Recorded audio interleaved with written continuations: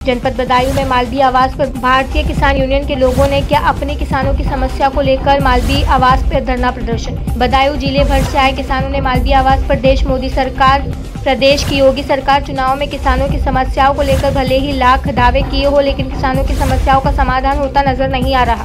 बिजली की कटौती भरपूर हो रही, बिजली समय से न मिलने पर किसानों की फ़सलें खराब हो रही है।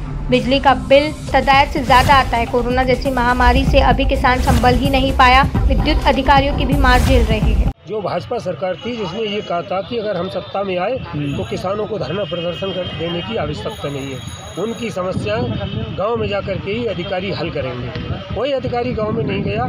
इस किसान की समस्या तो खेत खलिहानों में है। इसको समस्या पैदा करके सड़क पर लाद कर मजबूर करना पड़ता कि इसीलिए ना तो खाद में हमारी बहनें लाइन में लगी, उन पर लाठियाँ पड़ी, हमारी माँ लगी, उन पर लाठियाँ पड़ी। किसान को एक एक कट्टा दिया गया, जहाँ पाँच कट्टे की आवश्यकता थी, एक कट, एक एक कट्टा दिया गया और बनियों ने बिलेखोरी कर करके उनको साढ़े तीन से साढ़े चार सौ कट्टा बेचा। जो कि प्रशासन की मिली भगत के कारण कहीं छापामारी नहीं हुई, कोई दुकान निलंबित नहीं कहीं खाद के समय में।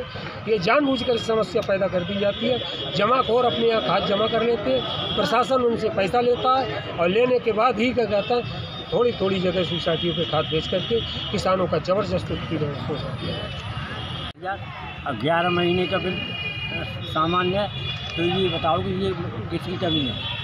जो मीटर लगाने वाले हैं मीटर ख़राब हो गए हैं बरसों से उन्हें समझने की कोई अब वो नहीं है ज़रूरत नहीं है ऐसे ही चल रहे हैं। रीडिंग करने वाले आते हैं उनसे कहते हैं हम क्या करें? और बिजली बिल्कुल नहीं जा रही रात में दसवीं बार चल पर दिन में भी चल टेन बिजली तो समस्या ही खराब नहीं चलता कोई मशीनिंग हुआ ना जैट बिल्कुल नहीं चल रहा। ट्रेन है। और हमारे जो गाँव में गल्ला बटता है वो सब अर्थव्यवस्था है कोटेदार को ये राजमंत्री बना बना हुआ बैठा है।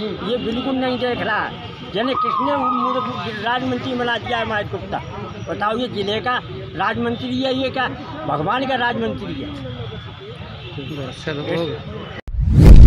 आप देख रहे हैं सक्षम न्यूज़ इंडिया। सबसे पहले, सबसे तेज।